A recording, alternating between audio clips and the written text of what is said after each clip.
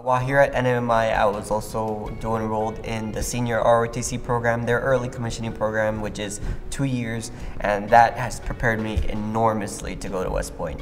Um, not only has it helped by helping me physically or academically, but they have taught me how to be a better leader, what to expect from leaders in the Army, and what the Army itself is actually going to be like. NMMI has been able to prepare me for my future in ways I cannot even begin to imagine.